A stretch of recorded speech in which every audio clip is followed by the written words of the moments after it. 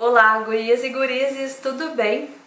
Eu quero dividir com vocês a minha rotina de cuidados com a pele pela manhã e à noite. Eu gostaria já de ter gravado esse vídeo, mas quando o assunto é produtos de pele, eu gosto de testar muito bem os produtinhos e falar sobre cada um deles, explicar para que serve, como que eu aplico, como que eu uso, para depois então fazer um vídeo só de rotina, né, de cuidados com a pele, porque eu acho que fica melhor de entender. Ficaria um vídeo muito longo, mostrar toda a rotina e explicar, né, para que cada produto serve. Então por isso que eu gosto de fazer assim separadinho.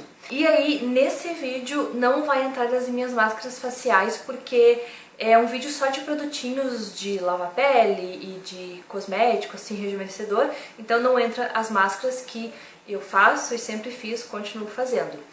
Outra coisa também, algumas pessoas podem achar estranho que alguns produtos que já passaram aqui pelo canal não estarão nesse vídeo, mas é normal, porque de tempos em tempos eu mudo a minha rotina, então eu não uso o mesmo produtinho por vários meses. Eu vou mudando os produtos, é por isso que sempre tem produtinho novo passando aqui pelo canal.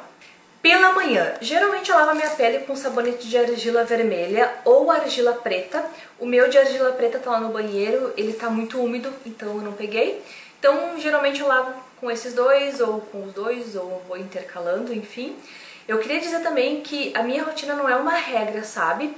Eu quero compartilhar assim de um modo geral, porque tem dias que eu não uso exatamente como tá aqui. No geral, eu uso assim. Mas tem dias que eu deixo de usar um produto, ou eu troco por outro, sabe? Vou trocando, enfim. Então lavei a minha pele, daí eu venho com o meu tônico de pepino e alecrim, né? De sempre, porque este aqui eu não deixo de usar nunca. Tonifiquei a pele, aí eu venho com o meu sérum vitaminado, que tem vitamina C e vitamina E. Passo pelo rosto e aí quando a pele absorveu, eu venho com o meu gel para a área dos olhos, que também tem vídeo aqui no canal.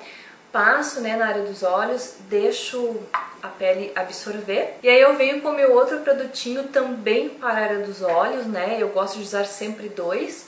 E então passo e também deixo a pele absorver. E aí eu venho com o meu produto que eu uso nos lábios. Esse produtinho aqui, ele é muito, muito bacana, muito especial, porque eu uso ele é, nos lábios, assim, e ao redor dos lábios também, e no bigode chinês.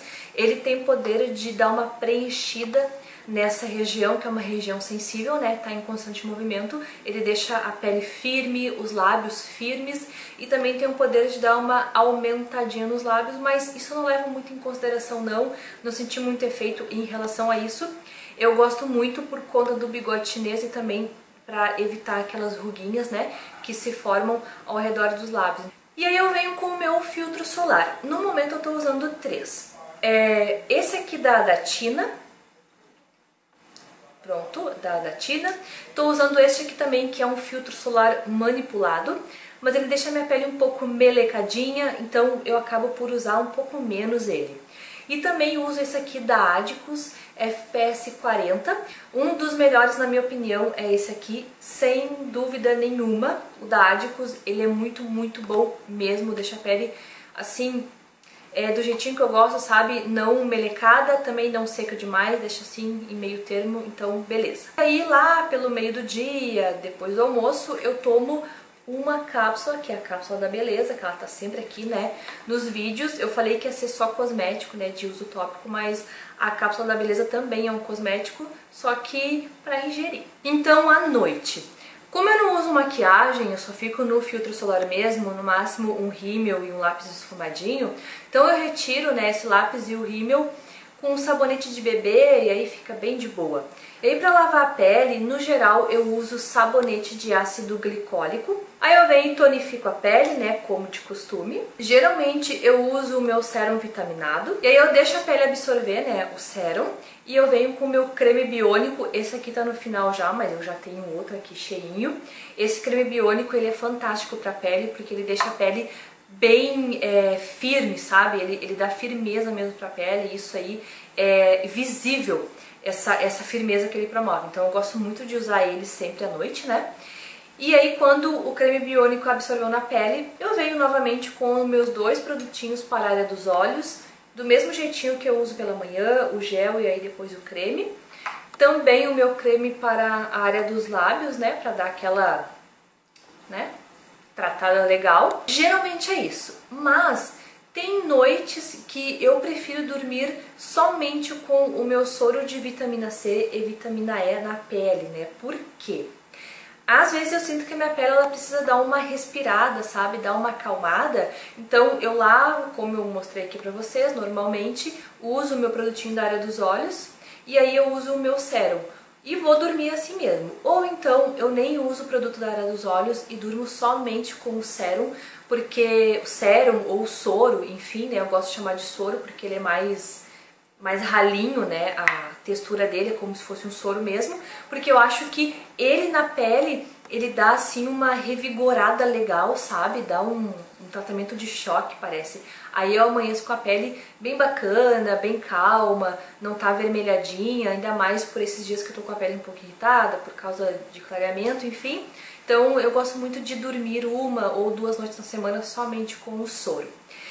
Mas quando eu sinto uma espinha aqui e ali, porque até agora eu tô com uma aqui, acho, e aqui, enfim, eu também gosto de dormir somente em cima, assim, né, da espinha.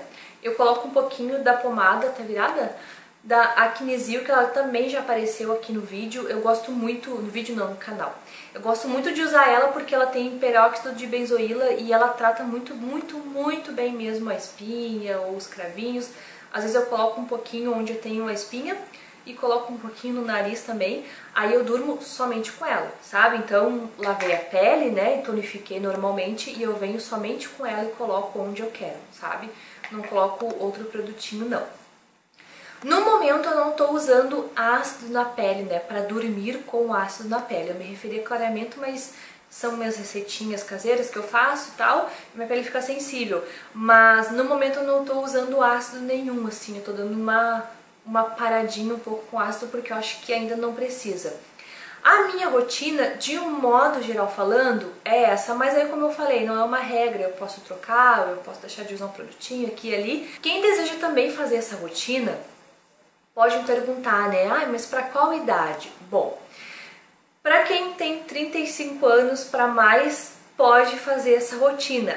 Para quem tem menos de 35, assim, até pode fazer, mas se realmente a pele precisa mesmo de tratamento, sabe?